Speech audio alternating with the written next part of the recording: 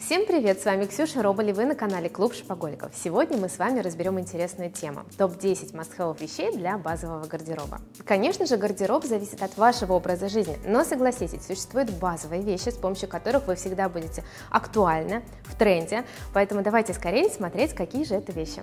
Кстати говоря, многие стилисты, дизайнеры говорят нам о том, что необходимо вкладываться в свой базовый гардероб, ну, грубо говоря, инвестировать в вещи. И тогда у вас не будет проблемы, когда в шкафу нечего надеть, потому что эти вещи будут актуальны всегда. Итак, давайте начинать. Открывает наш список классическая обычная белая рубашка.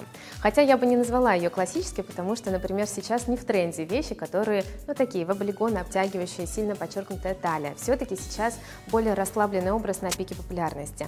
И если мы выбираем рубашку белую, из хлопка, то выбирайте более свободного кроя, так что можно ее носить и на выпуск, и заправить красиво, и она будет красиво, объемно лежать на ваших плечах. Раз уж мы находимся на канале Клуба Шопоголиков, то немножко вам статистики расскажу. Наши девочки обычно выбирают рубашки бренда Пинка или Карл Лагерфельд. Еще, кстати, Дикий NY тоже очень красивые, есть варианты. Давайте перейдем ко второй вещи. Это обычная белая классическая футболка. Но слово классическая не подразумевает под собой, что у нее приталенный крой и она облегает вашу фигуру. Нет, эта футболка тоже должна быть чуть-чуть свободной. В идеале, чтобы рукав был тоже свободный, и ваша рука казалась тоньше за счет того, что у вас будет расстояние между тканью и телом. Но самое главное, чтобы футболка была из плотного материала, не прозрачного, не тонкого, а достаточно структурированного. И если говорить о вариантах носки, то их просто масса. Мы можем просочетать с джинсами, с брюками, с футболками, абсолютно со всем, и это будет всегда уместно. Кстати, у меня была очень забавная история про белые футболки. Когда я в Инстаграме показывала разбор гардероба на съемках, потом мне писали в директ, Ксения, у вас столько белых футболок, и потом я действительно посмотрела, что у меня белых футболок превалирует над какими-то другими цветами. Но на самом деле это здорово. У меня есть и обычные белые, без каких-то принтов, с принтом, э, с горловиной разной, и в целом, мне кажется, это универсально. Кстати, белые футболки также можно здорово надевать под джемперы, под свитеры, и у вас будет вырез горловины джемпера и чуть-чуть торчать белого цвета, что будет освежать ваше, ваше лицо. И зачем я сказала ваше, ваше, ваше, ваше? Третья вещь, о которой я хочу вам рассказать в этом видео, это, конечно же, джинсы. Деним, мне кажется, сейчас невозможно представить без денима современный образ. И я очень люблю базовые джинсы. Ну что значит базовые? Сразу скажу, что сейчас не модные обтягивающие джинсы, которые называются скини. Хотя, кто знает, возможно, эта мода когда-нибудь к нам вернется, но честно, я сама не хочу. Мне нравятся джинсы свободного кроя, даже клеш или мамфит. Мамфит вообще, мне кажется, очень универсальная модель, которая подходит большинству типов фигур. Они с высокой талией, плотного структурного материала, то есть они не тонкие, когда вас обтягивают, а действительно придают форму вашему низу. И если говорить про наш клуб шпагольников, то у нас просто must-have всех девчонок, это джинсы Mamfit от бренда Guess. Они садятся просто изумительно по фигуре, если бы вы знали, сколько мы их перезаказывали, перепокупали с нашим клубом. А еще одни джинсы в истории нашего клуба, это джинсы Mamfit Пинка, светло-голубого оттенка. Ох, знаете, я помню, мы ездили по Италии по разным аутлетам просто в поисках остатков. В свое время мы успели купить очень много. Посмотрите на это фото из отеля, когда после шопинга я пришла, разложила их в стопку и показала вам. И потом, после этого момента, мы гонялись просто по всей Италии за этими джинсами. Звонили в аутлеты, спрашивали остатки. Ну, в итоге нам удалось, мне кажется, купить все, что было в остатках. И все. После этого было очень много запросов, хочу их купить, но, увы, их больше не было. У нас на канале есть видео, что же такое клуб шпаголиков, как он работает, как мы ездим на марафоны, как мы покупаем онлайн. Ссылка будет в описании, поэтому обязательно нажимайте и смотрите. Итак, смотрите, у нас есть футболка, рубашка, у нас есть джинсы. Что не хватает? Обуви. Давайте перейдем к ней. Что же является у нас базовыми мастхевными вещами? Конечно, обуви очень много существует и разных вариантов, которые будут подходить и универсальны будут всегда. Но я остановила свой выбор на базовых кедах и массивных ботинках. Что я имею в виду под базовыми кедами? Это классические кеды, без каких-либо декоративных деталей, просто белого цвета, на достаточно высокой подошве и с белыми шнурками, которые мы идеально впишем в любой образ, будь то платье, будь то рубашки, жакеты, джинсы, брюки, шорты, абсолютно все. Если говорить про какие-то конкретные бренды базовых кед, обуви, то мне очень нравится мой вариант от Miss Sixty. Это просто кожаные кеды и ничего больше на них, кроме маленького выбитого лога на язычке. Или еще мне вспоминается, конечно же, брендомания. Например, мои Гуччи с маленькими детальками сбоку. Ну, как маленькие, не совсем, конечно, они маленькие, но в целом я их тоже отношу к базовой обуви, которая идеально вписывается практически во все образы. И про эту модель хочу сказать, что она уже у Гуччи появилась очень давно. И я уверена, что будет в тренде еще, не знаю, не в тренде, а в коллекции лет 5 точно. Поэтому можете смело их покупать, и это будет вашей прекрасной базовой парой обуви. Так, возвращаемся к теме базовой обуви. Я уже говорила, что второй пункт – это массивная обувь. Массивные ботинки сейчас в тренде.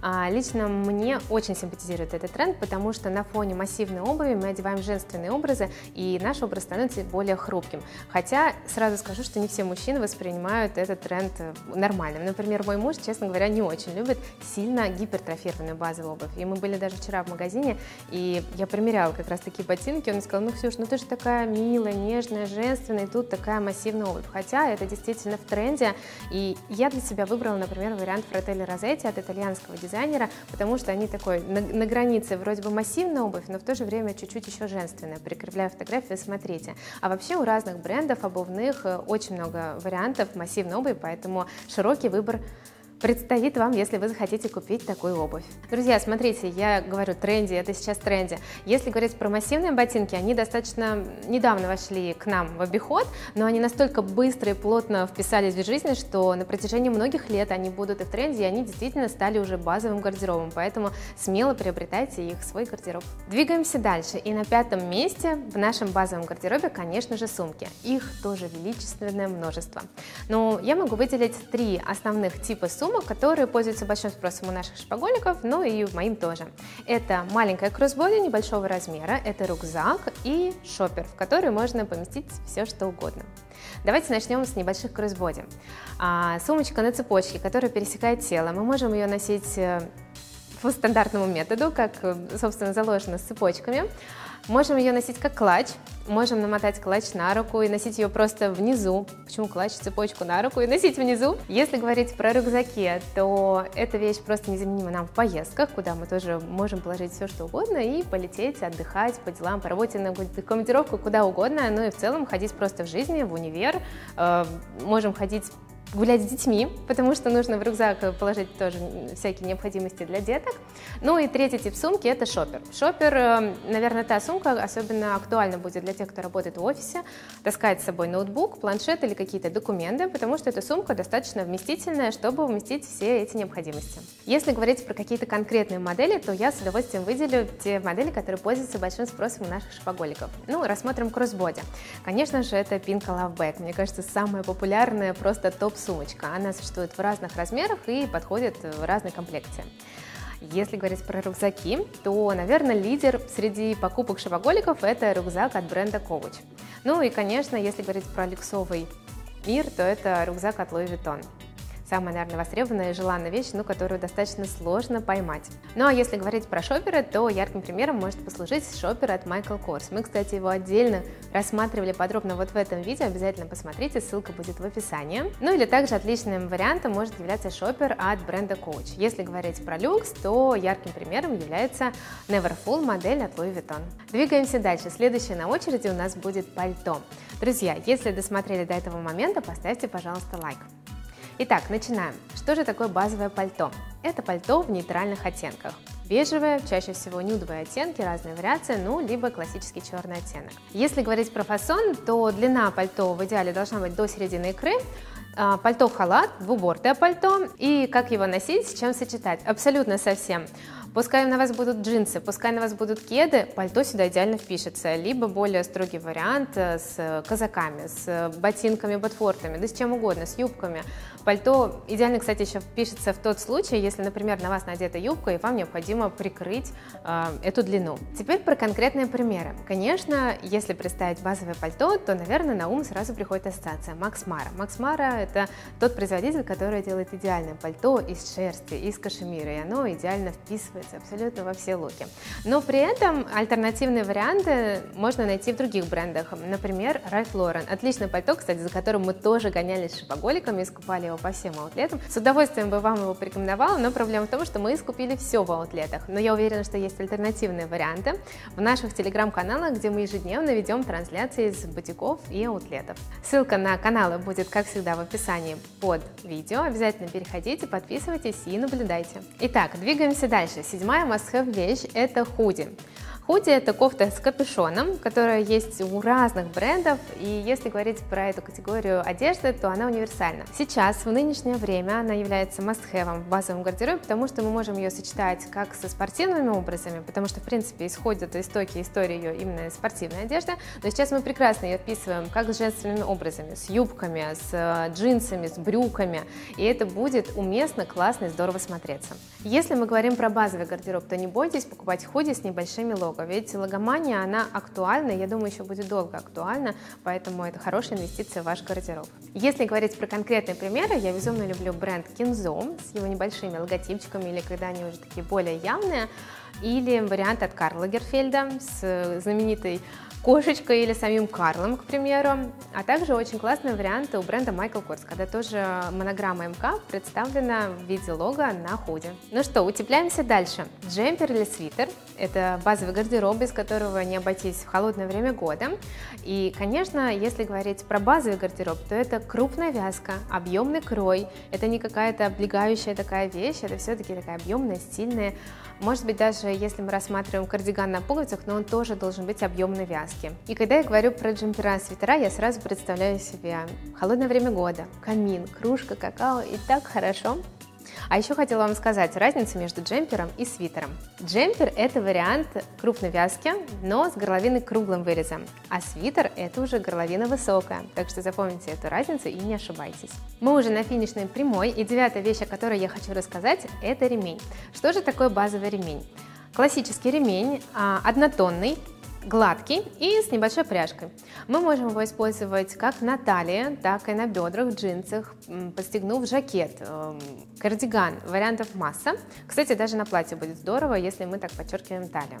Ширина у ремня может быть разной, он может быть тонкий, более широкий, и самое главное, чтобы он был однотонный. Ну и пара слов про пряжку. Она может быть как легкой, классической, стандартной, так и вариант э, в виде логотипа бренда. Например, наши шопоголики обожают ремни Пинка с птичками, ну или фаворит среди заказов люксовых – это Gucci ремень. У меня на канале, кстати говоря, есть видео про ремень Gucci, мы разбирали, как его выбирать правильно, как купить дешевле.